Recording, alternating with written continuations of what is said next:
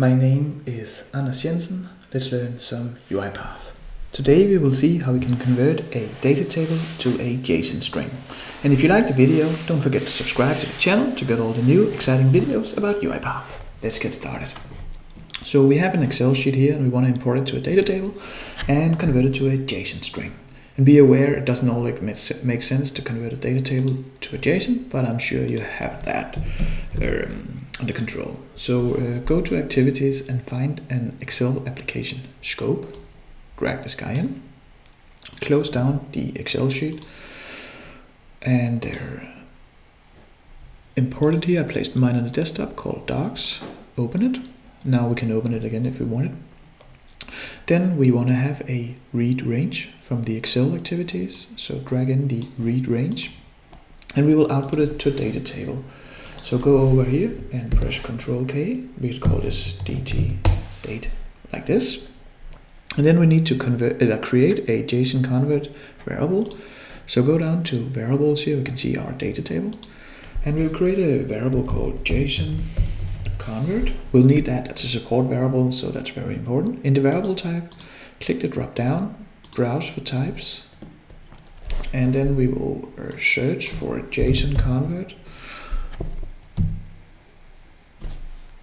Maybe I'm blind, but uh, yes, it's here under Newtonsoft JSON. Choose that one.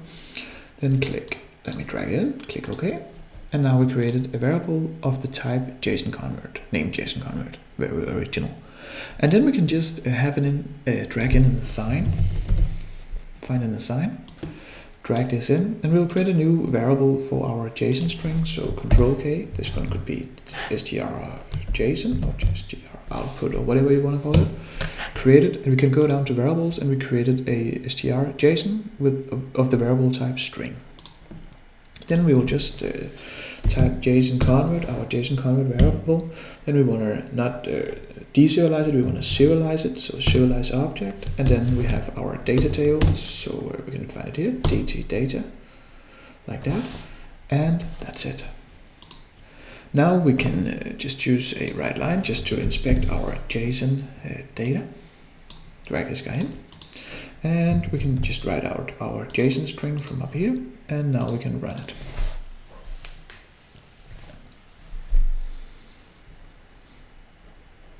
UiPath runs here, we can see it, and we'll wait a few seconds. And wait a few more seconds. Now we read Excel and we have done it. Let's go to output and we can see our JSON string here. That's it. If you enjoyed the video, please give it a thumbs up. That will really help me a lot. Have a good day. Bye bye.